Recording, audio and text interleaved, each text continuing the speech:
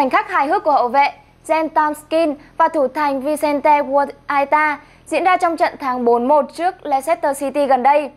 Theo The Sun, thủ thành Crystal Palace có vẻ gặp phải vấn đề gì đó trong quân, phải nhờ đồng đội Tomskin kiểm tra trong lúc trận đấu đang diễn ra. Một số fan cho rằng có thể Vicente Guaita đã bị tuột dây quần, Đeo găng tay nên không thể buộc lại nên mới nhờ đồng đội trợ giúp.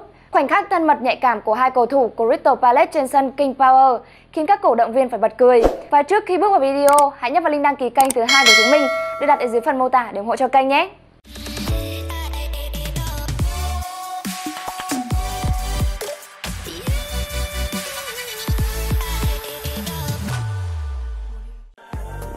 2020 với đại dịch Covid-19 là một năm buồn đối với tất cả mọi lĩnh vực trên thế giới. Và thể thao cũng không phải là ngoại lệ. Tuy nhiên, trong năm mà nhiều hoạt động buộc phải tạm ngừng và trì trệ thì chúng ta hãy cùng ôn lại những khoảnh khắc xử lý khôi hài của các vận động viên, cùng sống lại những phút giây đầy sôi động và nhiều cảm xúc để cùng nhau cầu nguyện virus corona mau chóng qua đi và thế giới lại được ngập tràn trong sắc màu thể thao nhé.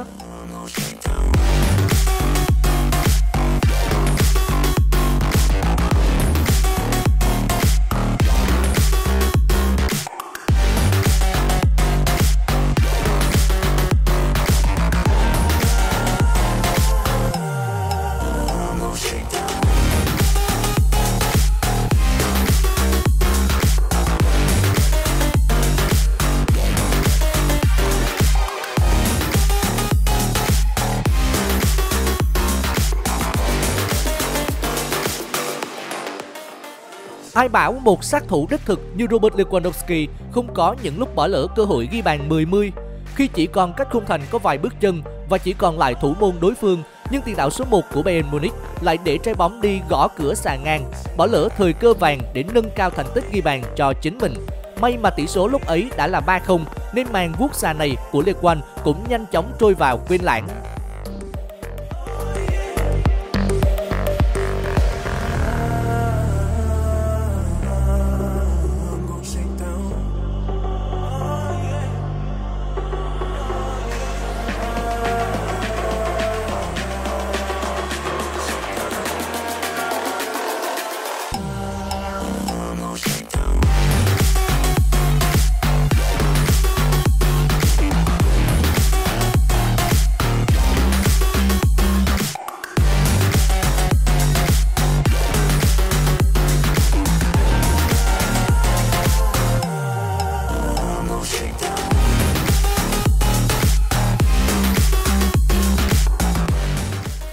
Thủ thành Vincent Guaita của câu lạc bộ Crystal Palace đã có màn bước vào ngôi đền của những thủ môn biết ghi bàn một cách không thể bất đắc dĩ hơn.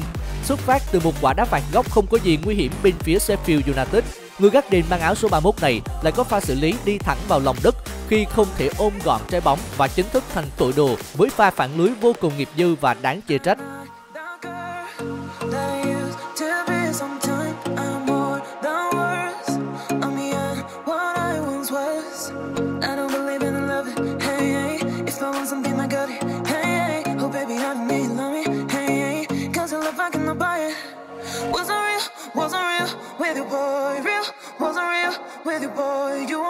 Won't give chances. I don't care. I'm fine. I'm fancy brighter. Yeah, yeah, yeah. Oh boy, I'm telling goodbye. I'm telling goodbye. Yeah, yeah. Oh boy. Thôi thì trong cuộc sống, việc có chút sai lầm nho nhỏ cũng dễ dàng được tha thứ thôi. Nhưng mà đối với các gôn thủ chuyên nghiệp thì pha lỡ tay như thế này không khác gì một thảm họa tận thế. Trong sự khắc nghiệt của môn thể thao quý tộc này, việc dương thêm một gậy có thể sẽ lấy luôn mọi vinh quang của người chơi. Thế mà anh chàng này lại có một cú điều bóng không thể tin nổi để tự lấy đi lợi thế to lớn của mình.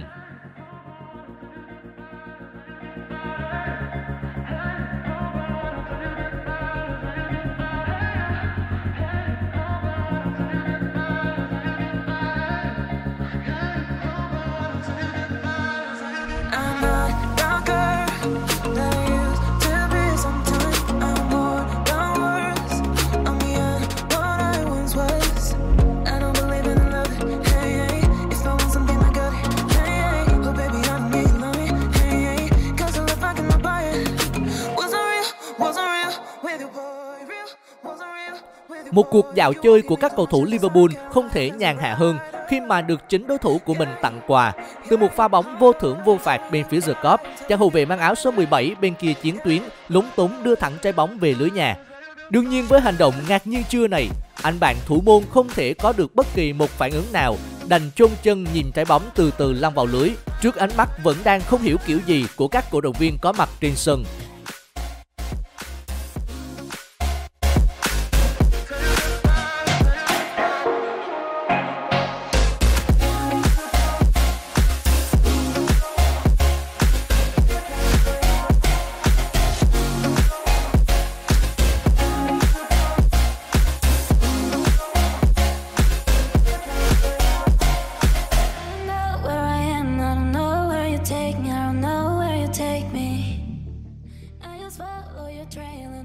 Một cú úp đổ cực kỳ dũng mãnh trong một tư thế thuận lợi như thế này, các bạn sẽ nghĩ đến điều gì?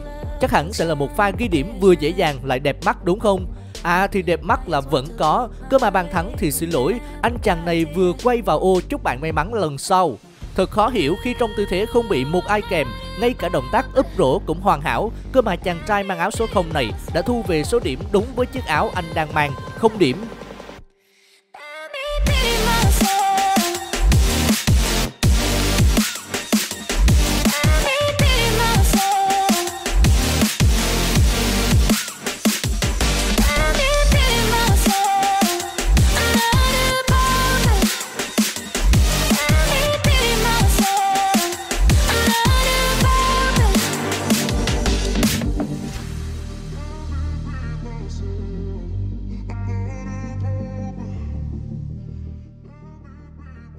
Khi mà vua lì đòn đi thi đấu UFC thì sẽ như thế nào?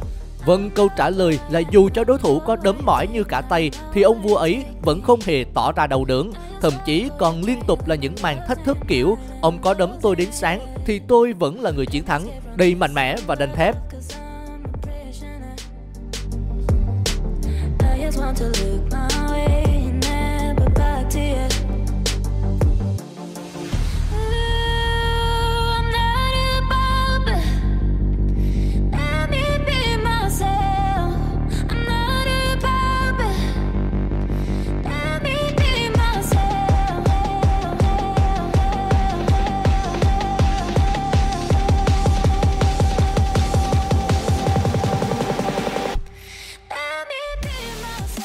Dục tốt bất đạt, có lẽ chàng trai mang áo xanh lá cây này sẽ thấm thía câu nói đó sau tình huống bóng này.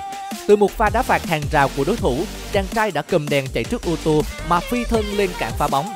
Nhỏ cho anh chàng khi trong một ngày trái bóng tỏ ra tinh nghịch thì nó đã chạm đến thứ quý giá nhất của anh một cách vô cùng nhanh và mạnh. Đương nhiên với mức sát thương như vậy, một cú nằm ngay tại sân là điều chắc chắn sẽ xảy ra tiếp theo. May là mọi thứ vẫn bình thường và chàng trai này vẫn có thể tự tin mình là trai thẳng 100%, không có thứ gì bị mất mát.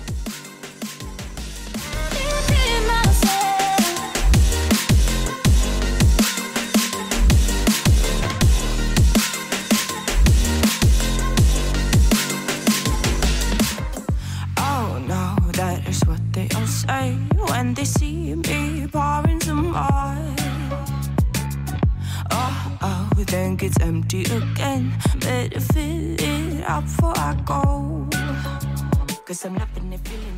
Chẳng biết đây có phải là màn chào đón người ngoài hành lang Jesse Lingard đến với đội bóng không? Mà đến cả một cầu thủ kỳ cựu như Matt Noble cũng có một pha xử lý không biết tránh sao cho hết buồn cười như thế này từ một đường căng ngang chuẩn xác của đồng đội, những tưởng với kinh nghiệm dày dặn của mình, cầu thủ người Anh sẽ dễ dàng có bàn thắng. Ấy thế mà không, khi mà cú sút của Noble có độ sát thương, đáng tiếc là dừng lại ở con số 0 khi mà anh chẳng thể sút nổi trái bóng và để nó hững hờ bước qua đôi bàn chân của số 16 bên phía West Ham như chưa từng quen.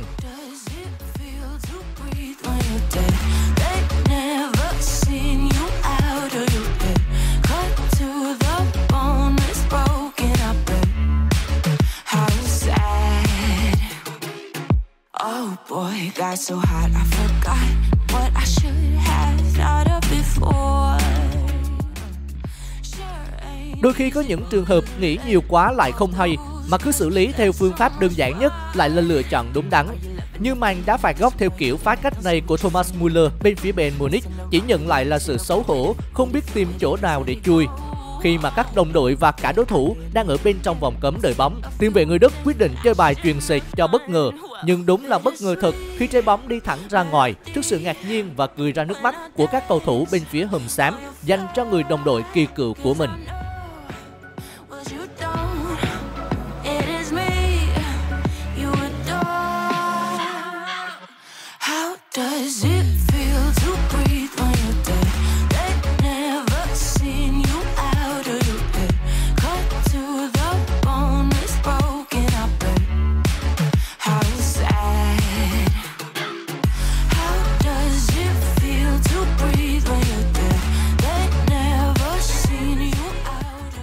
Panenka là một kỹ năng sút penalty được xem là vô cùng tối thượng nếu thực hiện thành công, đó sẽ là một bàn thắng đẳng cấp nhưng một khi đã sút tạch thì người dứt điểm chỉ có trở thành trò cười của đối thủ.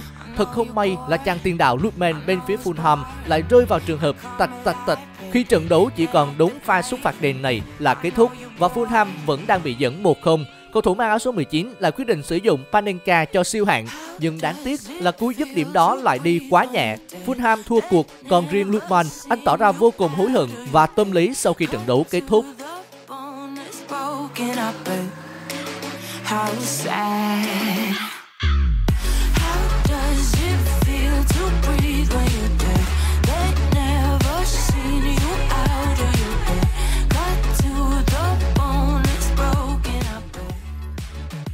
Vừa rồi là những pha xử lý lỗi vừa hài hước lại vừa thốn trong thể thao. Cảm ơn các bạn đã theo dõi. Nếu thấy video hấp dẫn, đừng quên ấn like và subscribe để ủng hộ cho kênh nhé. Xin chào!